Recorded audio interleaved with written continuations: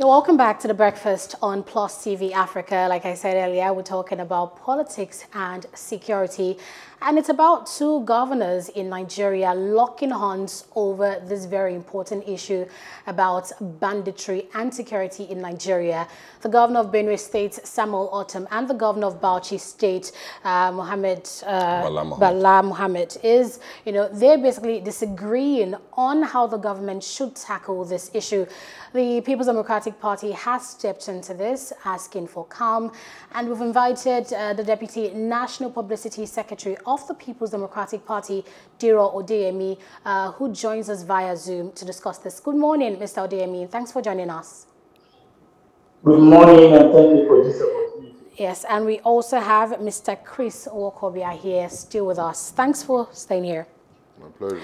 Okay, beginning with this issue, we see that uh, they're, they're having different or conflicting views about how this matter should be tackled. And uh, Bala Mohammed of Bauchi State came out to say that, you know, bandits should be allowed to carry AK-47, but later said AK-47, when he said it, was metaphoric. And we see here Ortom, you know, thinking otherwise, and he came out to say that Bala Mohammed's statements made him sound like a terrorist. Can you help us break down this rift, this difference of opinion in the PDP regarding how to handle this issue of security? Mr. Odeyemi. Um, this is more or less a very difficult situation to handle. Um, for the mere fact that it is coming from two high-profile governors makes it more difficult.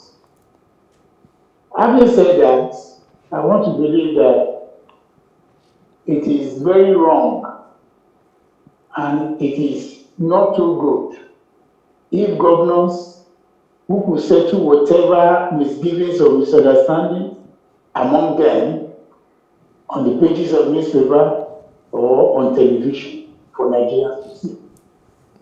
It is a debasement of the office they both occupy. This is condemnable. But having said that, we as a political party wants to agree that there is always this mechanism to sort out issues and to settle it amicably. And in doing that, what we did as a political party is just to analyze the issue.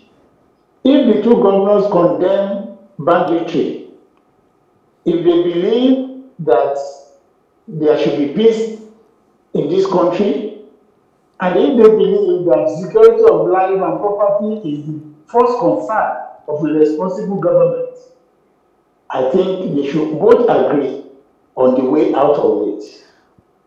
Uh, what uh, I want to believe uh, Governor Bala Mohammed is saying is that Fulanis should not be stigmatized. That in providing them, it would be wrong to say it is only Fulanis that, or the S-men that are committing crime or killing people in Nigeria. That is his position. And he has come out to say that the advice that they should carry AK 47 was a kind of a figurative uh, use of word. Well, we want to believe that.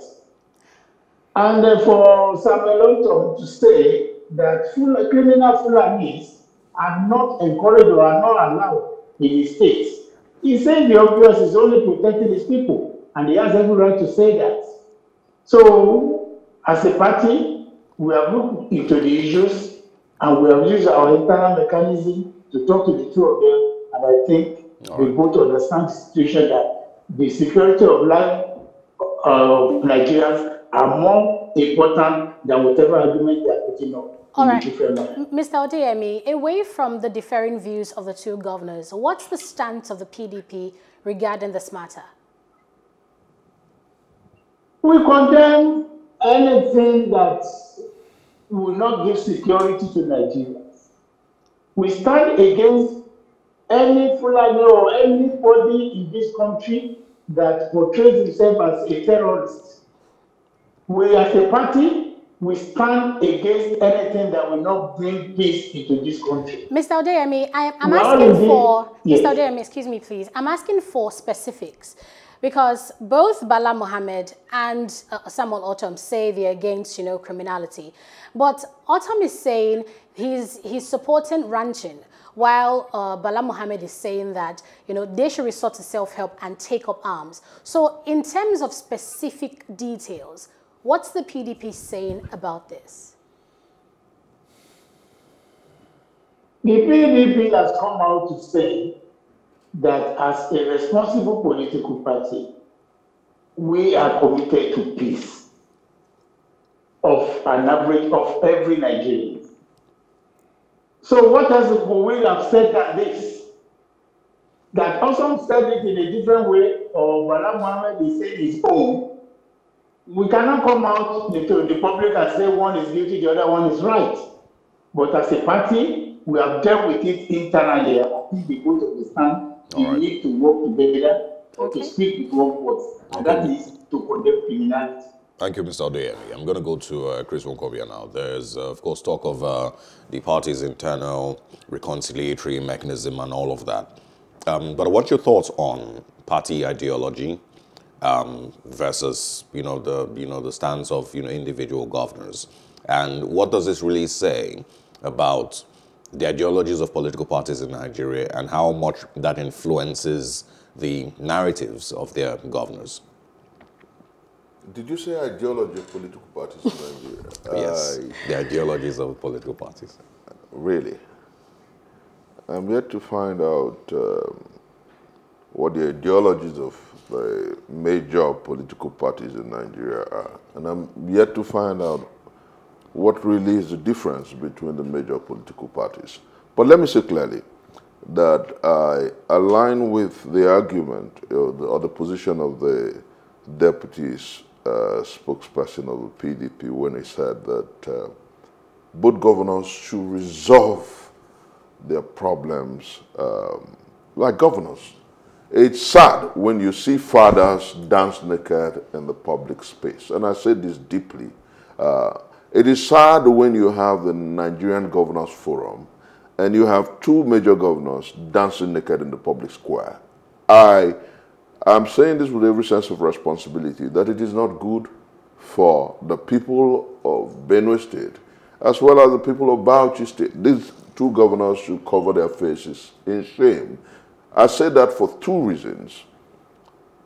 The man who said that AK-47 um, can should be used as uh, or construed as a figurative speech for self-defense has come out at several fora to impliedly say, "Oh, I'm, I was wrong. I was quoted wrongly."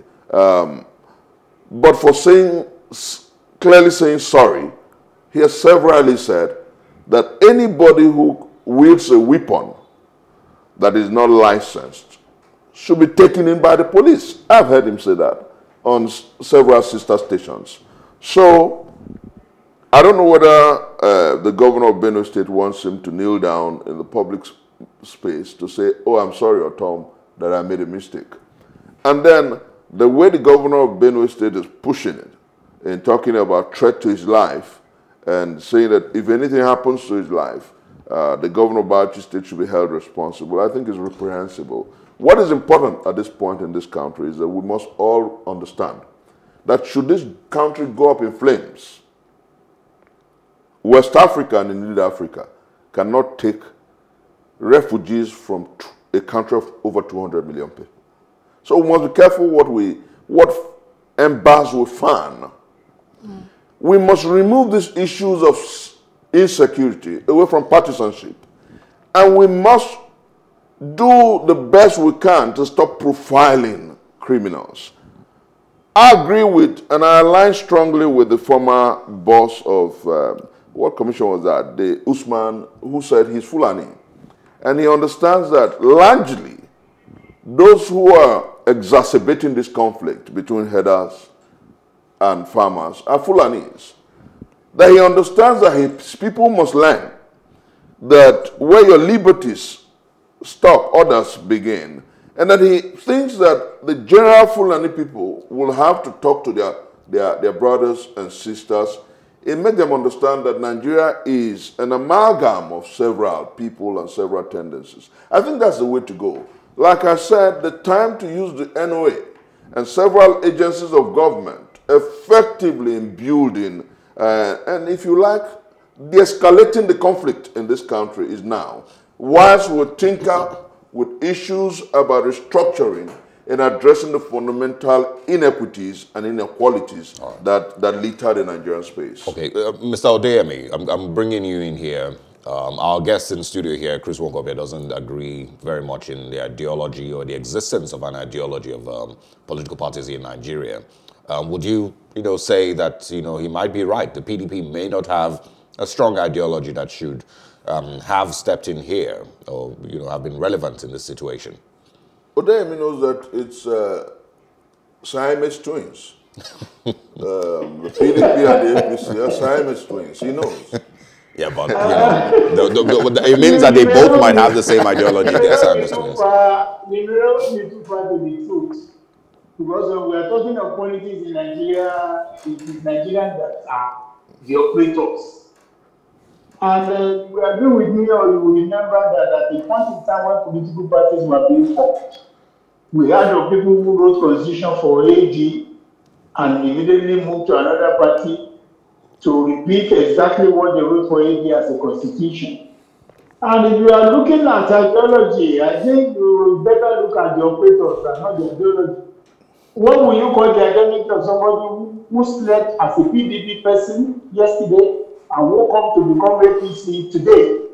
And the APC are celebrating such persons simply because they believe he has added to the number they have. You, so where is you the As yes. far as we are concerned in this country, you cannot pin down a political party to having an ideology other than the operators and the individuals who are there. So I agree. But so, that is not to say that with the combination of right people coming together to form a political party or to form an alliance within a political party, there will not be an So, so what you've said, uh, apologies, Senator Felix. So what you're saying, Mr. Odeyemi, is that your political party, you're the uh, Deputy National Publicity Secretary of the PDP, you're saying that your political party doesn't have, you know, an ideology that Nigerians should cling to.